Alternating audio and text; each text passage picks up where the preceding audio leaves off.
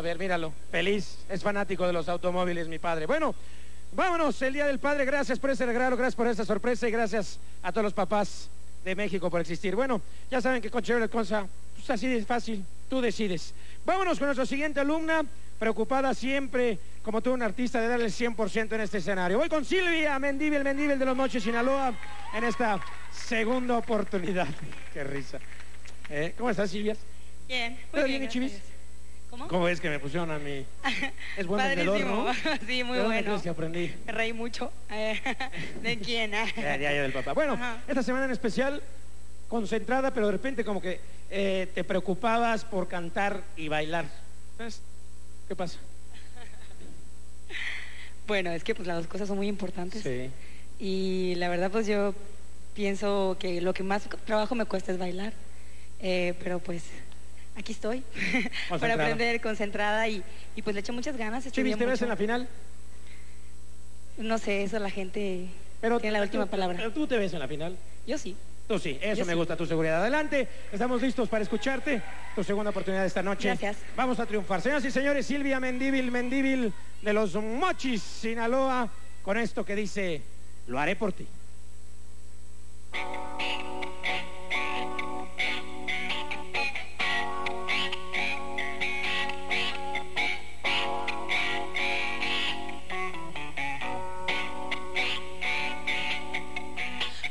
Que bien se nos da esto de estar juntos los dos. Esto de planear futuro, siempre acompañándonos. Me queda bien aceptar como en un tango de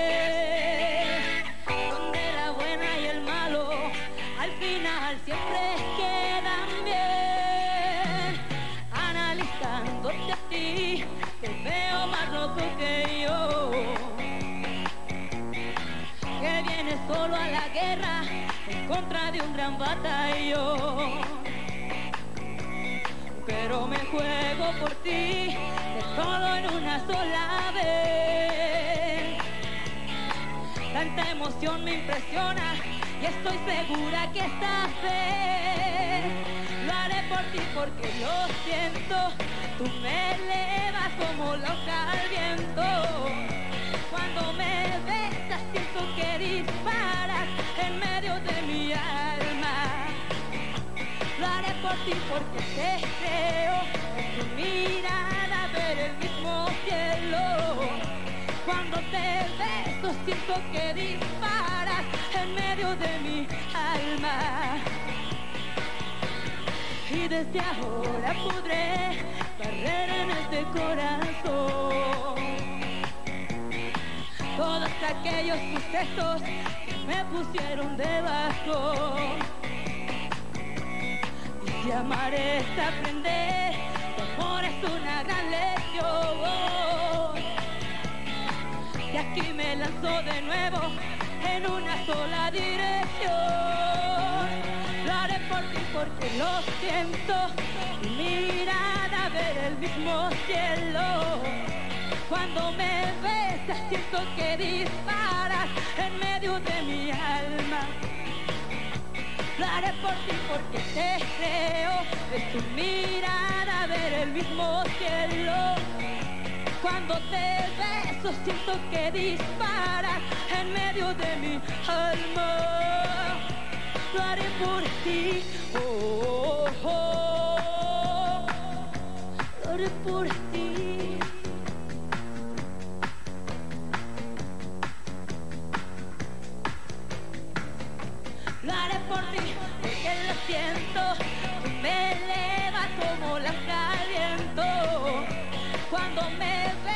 Siento que disparas en medio de mi alma. Lo haré por ti porque te creo. Es tu mirada ver el mismo cielo. Cuando te beso siento que disparas en medio de mi alma. Lo haré por ti.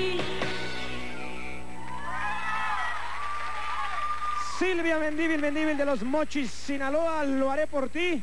Haga esa llamada por Silvia. Vamos a escuchar la opinión de Oscar Sarkis. Eh, Silvia, si lo que más te preocupa es cómo bailas, yo creo que no te debes de preocupar tanto. Yo creo que lo estás haciendo cada vez de una manera más natural. En cuanto a cómo cantas, ya en varias ocasiones te habíamos hecho notar que como recurso expresivo, el jadeo podría llegar a ser excesivo. Ah, no sé si, me vaya yo a oír muy, muy ortodoxo, lo cual seguramente le gustará a Arturo, pero eh, creo que lo mejor que te puedo ofrecer como crítica es hacerte notar que cada una de tus inspiraciones fue audible y entonces llega a distraer necesariamente.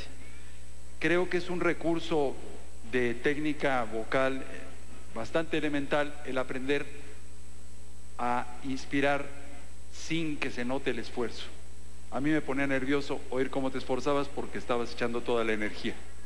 Es lo que te puedo aportar, Silvia. Ilse. Comparto opinión con Oscar en ese sentido y me llamó la atención que hiciste batallón con, poniendo un, un diptongo ahí, batallón, y es batallón, batallón. Es chistoso, salió chistoso ahí. Em, la sentí de repente pelona, como que pista aquí, voz, y no, no te logré sentir que te integraras a la, a la canción, pero como siempre por ganas, o sea, pues no, no quedan, y tú le echas muchas ganas, pero esta vez tampoco tuvimos éxito, Silvia. Gracias. Yo nada más quería decir una cosa, es parte de mi interpretación, es intencionado el jadear, como dices. Lolita Cortés. Gracias. Es un mal ejemplo, Yolet, ¿no? Debe ser un mal ejemplo. Eh, hablo por, si no se te hace una pregunta, es extraño que uno espere un comentario. Bueno, entonces está mal no tienes que jadear tanto y se te ha pedido que lo hagas, que no lo hagas porque molesta.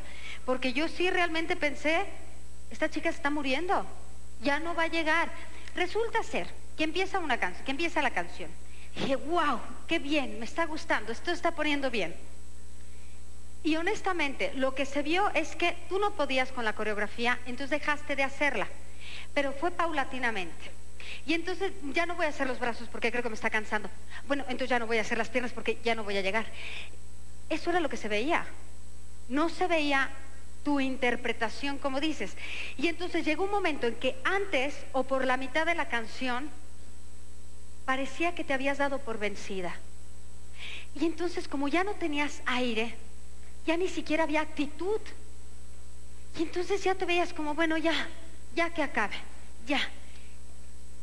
Si tú estás jadeando porque lo quieres hacer, está mal hecho, porque entonces se ve otra cosa completamente diferente. Esta canción necesitas mucho más fuerza físicamente, ya no vocal, sabemos que tu voz, esa voz rasposa es padrísima, es riquísima, porque no lastima el oído, pero tanto jadeo molesta. Y yo veía a una chica harta, quería que se terminara su canción porque ella estaba exhausta. Ese es el problema de tanto jadeo. Porque no vas a andar anunciándole a todos, y ahí les va mi mejor interpretación con jadeo. No. ¿Sí? Sobre todo cuando hay un baile. Es lo que menos se tiene que escuchar. ¿Ok? Ya está. Gracias, Dolita. Arturo López Gavito. Silvia, si me permites hacer una analogía de lo que pasó con tu interpretación, fue como ver una vela que se va consumiendo poco a poco, poco a poco, hasta que se apaga el pabilo y ya no queda absolutamente nada. Yo empecé muy emocionado a escucharte, porque había actitud, y dije, finalmente voy a escuchar esta canción cantada por una persona, cosa que también me motivó. Y después, realmente todo lo que apareció, la percepción general, fue que te fuiste apagando, apagando, apagando.